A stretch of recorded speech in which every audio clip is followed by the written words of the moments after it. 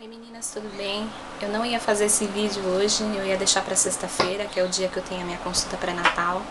Mas como eu tinha algumas novidades para contar para vocês, eu falei, ah, eu, eu tenho que contar, porque eu fico me segurando aqui, eu, eu adoro compartilhar. É, ontem eu fui fazer meu último exame de sangue, assim espero, né, uma batalhada de exame de sangue que, pedi, que o médico pediu.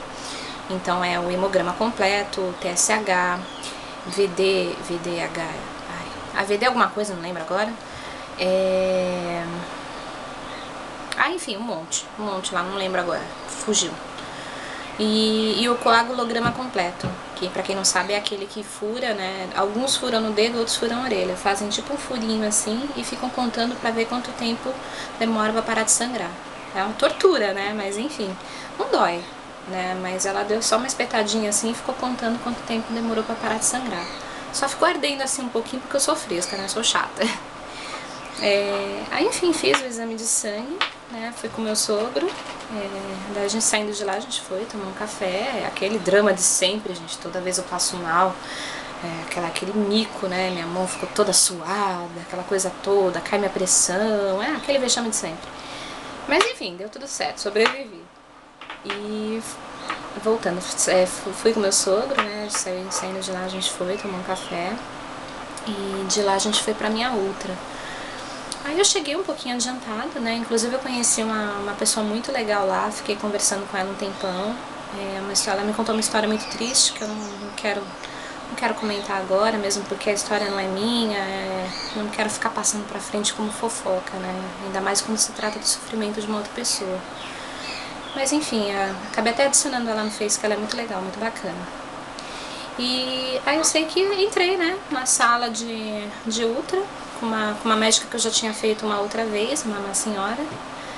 E aí eu fui, deitei, né? Tava lá na maior expectativa, né? Até onde eu tô, tô, acompanhando pelo Baby Center, ontem eu faria 37 semanas. E de acordo com o Baby Center, era pra minha bebê estar tá por volta de 2,9 kg e até 50 centímetros, né? Que é a média. E a gente sabe que nunca, nunca é isso, né? Geralmente é menos ou é mais. Enfim, deitei lá, fiquei conversando com a médica e tal, né? Antes dela começar o exame. E eu super ansiosa para ver o quanto ela tinha crescido, que a gente sempre, sempre quer, né? Que o bebê esteja se desenvolvendo bem, esteja tudo bem. Aí, gente, olha, eu confesso que eu levei o maior susto da minha gravidez até agora.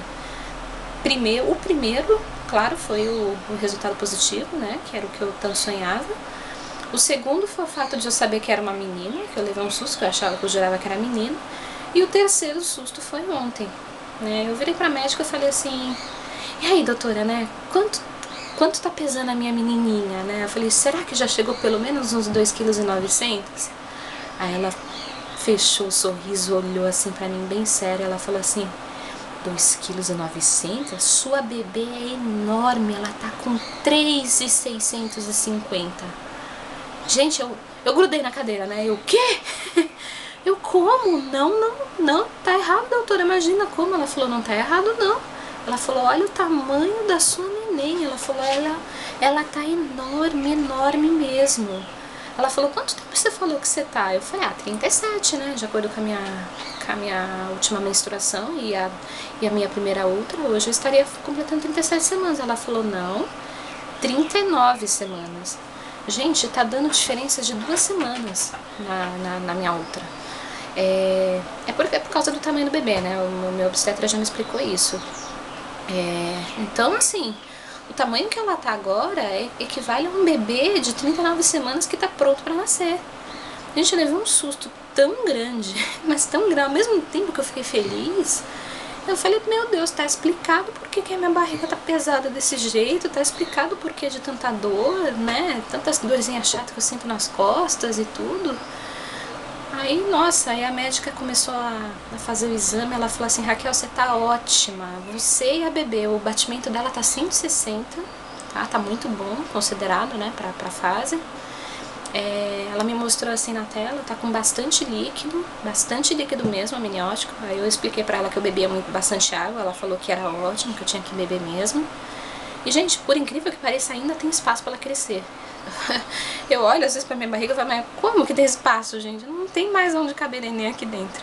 Ela falou, não, tem sim, olha, aqui tá o espaço preto, aqui é. Aqui tem bastante líquido, ela tá ótima. A placenta, a placenta já tá no grau 2, quer dizer, já tá, já tá chegando a hora, né? Quando chega no grau 3 é porque ela já não tá mais fornecendo nutrientes, né, pro, pro bebê. E ela falou que tá tudo perfeito, gente. Tá tudo, tá tudo assim, prontinho. Ela já tá pronta para nascer, praticamente. Aí ela começou a brincar comigo. Ela, ela falou assim pra mim: Você pretende ter parto normal? Eu falei: É, doutora, eu pretendo, né? Mas diante dessa notícia agora eu fiquei com medo, né? Falei pra ela. Aí eu já, já logo percebi que ela já era contra, né? Ela falou assim pra mim: É, você é corajosa, hein? Se você tiver um bebê desse tamanho de parto normal, ela falou, vai estragar o playground. Aí eu dei risada, eu falei, ai meu Deus do céu, ninguém merece. Eu falei assim, mas doutora, considerando o fato de eu estar com 37 semanas, até chegar a 40, que tamanho que ela vai ficar? Ela falou, olha, se você chegar a 40 semanas ou passar, no ritmo que você está hoje, ela vai nascer com mais de 4 quilos. Gente, eu gelei. Aí eu fiquei imaginando a minha amiguinha aqui embaixo Falei, como é que eu vou parir um bebê desse tamanho? Meu Deus do céu, começou a me dar um desespero, me dar uma agonia. É, eu sei que não vou abrir mão. Por enquanto, ainda vou insistir nesse sonho, né? De tentar o parto normal. Mas eu confesso para vocês que eu, que eu me assustei quando eu soube o tamanho da bebê, né? Porque eu levei um susto porque eu jurava que pelo fato de eu me alimentar mal, a minha bebê não ia estar tá tão bem nutrida desse jeito. Mas ela falou que não tem nada a ver, né? Quer dizer, não tem nada a ver. Tem, né? Mas ela falou assim, não, ela tá muito bem. Ela me mostrou os exames, o, no exame assim, a, o rostinho dela, gente, ai, me apaixonei. Ela, ela tava com a mãozinha assim, sabe? Apoiada no rosto, exatamente do jeito que meu marido dorme. Até que às vezes ele põe o braço assim, tem mania de dormir com o braço assim no rosto. Igualzinho a neném tava no vídeo. Falei, gente, a cara do pai, umas bochechas grande, gostosa, tava com a boquinha assim de coraçãozinho aberto. Ai, linda, gente, linda, me apaixonei. Aí, eu, aí a médica falou, ai gente, ela, ela vai ser linda, ela vai ser linda. É aqueles papos, né, que não sei se fala pra todo mundo, deve falar, né. Aí ela falou assim, olha, boa sorte pra você, vai dar tudo certo, tal, né. É, mas ela, me, ela me, me deixou com essa, com, essa, com essa dúvida, né. Eu falei, caramba, parto normal de uma bebê grande, né. Eu já tava, já tava meio assim com o meu médico, né. Já tava com aquela história do corte do períneo e da anestesia. Aí depois vem essa, essa bactéria que eu tô, né? Que eu vou precisar tratar. Ainda não peguei o exame de urina, vou pegar daqui a pouquinho na internet, que eu quero ver se já saiu. Que provavelmente eu devo estar com alguma coisa também. Aí agora o bebê grande, gente, o que, que meu médico vai falar? É agora que eu vou saber se realmente ele é cesarista ou não, né? Aí eu sei que tá bom, né? Fiquei, fiquei assim, feliz com o tamanho dela, né? Ao mesmo tempo que eu fiquei assustada, eu fiquei muito feliz. Quando eu cheguei em casa, é, aí é a primeira coisa, né? Você começa a ouvir, né? As histórias, as pessoas falando. Você, você é muito corajosa, minha sogra, né? É, Nossa, você é corajosa. Você ainda vai querer fazer parto normal? Essa neném vai te rasgar inteira. Você e é muito perigoso pro bebê. Ela vai, ela vai se asfixiar.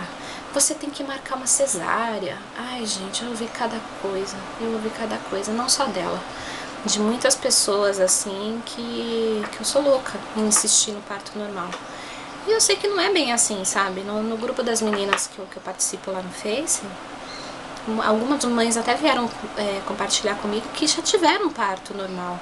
De bebê de. Teve uma que falou com uma bebê de 4,1 kg e nem laceração teve. Aí muitas me consolaram e falaram, Raquel, fica tranquila, vai dar conta do recado, tal, né? Até a Carol, que a Carol é uma graça, brincou comigo, falou que, que a minha amiguinha ali embaixo vai dar conta do recado, ela usou outro termo, não vou falar agora. Então, assim, é, eu sei que a mulher tem passagem, né? Mas é, eu confesso que eu tô um pouquinho assustada. Tô assustada ainda, mas eu não desisti, não vou desistir. Sexta-feira é minha consulta agora. Eu quero ver o que, que o meu médico vai falar. E dessa vez eu vou ter companhia, né, gente? Na minha próxima consulta, que a minha sogra vai entrar comigo. Então, eu tenho um fundo de esperança que ele ainda assim não vai desistir do parto normal e vai falar alguma coisa para acalmar ela. porque ela tá tentando a todo custo fazer com que eu mude de ideia. Ela tá achando que é loucura, a minha cunhada também tá achando que é loucura. A meu marido ele já tá, já tá um pouquinho receoso também. Ele, ele começou a ver casos na internet. Essa internet é uma. Desculpa uma, o termo, uma desgraça. Ele começou a ver, de, ver casos de bebê que morreram em parto porque eram grandes. Ai, gente, olha, é difícil. É difícil. É... Se realmente eu quisesse parto normal, vou ter que lutar muito.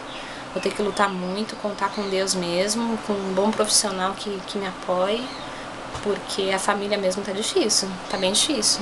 Minha mãe não. Minha mãe não, porque eu não sei se eu comentei com vocês, mas no meu parto eu nasci sentada. Eu nasci com 3 kg 400 alguma coisa, parece. E eu nasci sentada. E minha mãe, na, é, imagina isso, há 29 anos atrás, gente, isso aí era uma, uma loucura. E minha mãe sobreviveu, poxa. É, tudo bem que foi uma imprudência dos médicos eu ter nascido sentada de parto normal. Mas nasci. Então, quer dizer, tem bebês que nascem grandes de parto normal e não é assim também, né? Como estão falando. Então eu vou tentar, gente, a todo custo eu vou, vou tentar, eu vou, vou, vou ver o que meu médico vai falar sexta. E aí depois eu conto pra vocês o que, que ele falou. E é isso, gente, eu tô aqui toda assustada. tá aqui assustada eu olho pra minha barriga toda hora e fico, ah meu Deus, é por isso, tá explicada. E de ontem pra hoje eu comecei, eu não sei se é psicológico, mas acho que não. Eu comecei a sentir umas dorzinhas assim aqui atrás, sabe, na, nas costas, no cox que fala. É, mas não é, não é o tempo inteiro. E não é regulada, assim, sabe? É ritmada. É uma fisgadinha que nem eu sentia no quarto mês de gestação, que era na bacia, que na época o meu médico me falou que era a minha bacia que estava abrindo para encaixar o bebê, né? Que era o peso do bebê. Então agora eu não sei se realmente eu já estou começando a dilatar ou se é realmente o peso da bebê que está pressionando, eu não sei o que é. Eu vou perguntar na sexta para ele, né? Aí eu falo para vocês o que, que ele me falou da, dessa dor.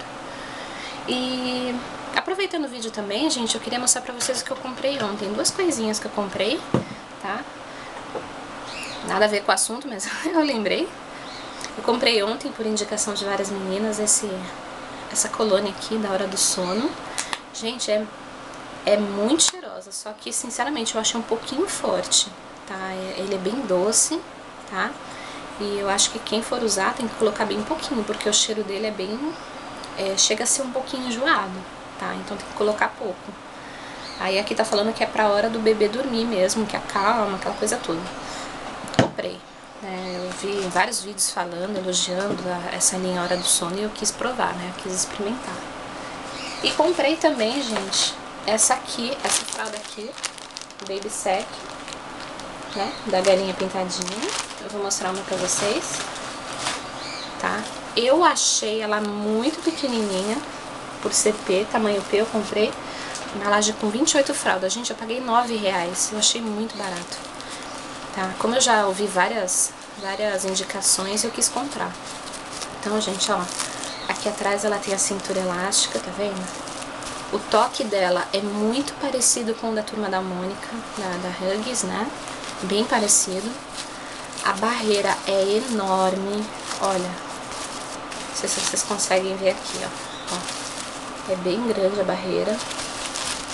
E ela tem um algodão até a parte de trás aqui, olha, todinho. Não fica aquele vão assim enorme, entendeu? Tem bastante, bastante gel de absorção, tá? Tem a faixinha verde aqui atrás, né, que é onde fica o gel, que eu acho que vai ser muito bom. E ela é linda, né? Ela é toda enfeitadinha. Tem aqui os desenhos da galinha pintadinha. E aí eu quero testar, né? Eu, eu abri pra ver, né? Que eu tava super ansiosa pra ver. E eu dei uma fralda pra minha cunhada, que teve bebê agora, né? Eu falei, faz o teste pra mim, né? Usa, vê o que, que você acha. Aí agora de manhã ela ligou, falando que ela adorou. A bebê dela tem 15 dias, né, minha sobrinha. Ela, ela falou que adorou a fralda, que é muito boa. Só que como ela ainda é muito pequenininha e faz aquele cocô toda hora, não dá pra saber se, se segura tanto assim o xixi, né? Mas ela falou que, que gostou muito, apesar de ser um pouquinho pequena. Então, gente, eu indico, mas para quando o bebê é bem pequenininho, o tamanho P, porque eu, eu achei que é um pouquinho menor que as outras fraldas de tamanho P. Aqui tá dizendo que é até 6 quilos. Eu não sei se vai realmente até 6 quilos. Isso é uma coisa que eu só vou saber depois que a Alice nascer e eu testar. Tá? Depois eu dou um feedback pra vocês. Mas essas são as duas coisinhas que eu comprei ontem. E é isso, meninas. Na sexta eu volto, tá? Pra contar pra vocês como é que foi a, a consulta. Com certeza eu vou ter alguma novidade, boa ou mal, mas eu vou ter. Aí eu volto, volto pra contar pra vocês, tá? Um beijo, até a próxima.